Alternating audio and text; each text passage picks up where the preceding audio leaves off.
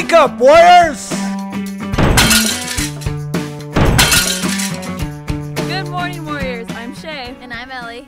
Hey, Ellie, do you have a fork? Oh, I don't have one, but let's just do the announcement, Shay. I don't want to worry about that right now. Stop eating. I guess I'll just eat with my fingers.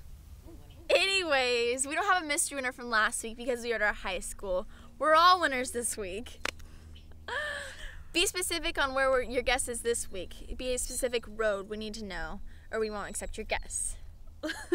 and be sure to check out the tennis and the baseball games this week. They are both home, so let's go support some people.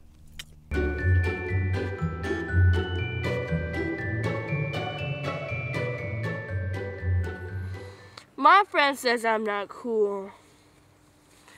But he said wrestling a bear is cool. I'm gonna go do that.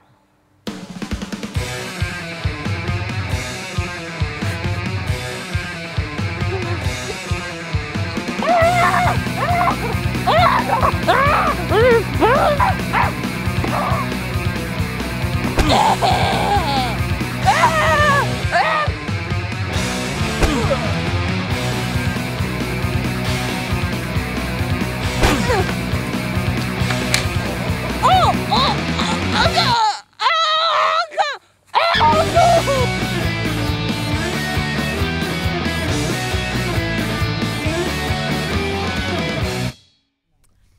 Seniors, just a reminder that you need to get your community service hours into Miss Bird this week. Graduation's coming up, so you need to get them in.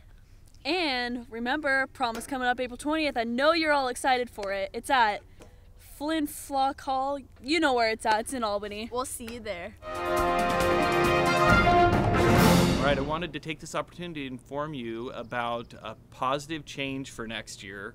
Um, we're going to be able to put in a new policy where we have school uniforms. All the students are wearing school uniforms next year, and uh, there's research that supports that cutting down on bullying and improving student achievement um, through this one simple change of you guys changing your attire for school. So we're real excited about this opportunity and want to inform you now so that you'd be ready uh, as you choose your clothing for next year.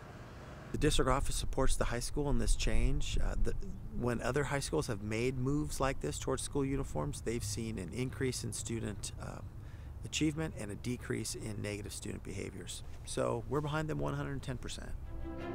May the fourth be with you!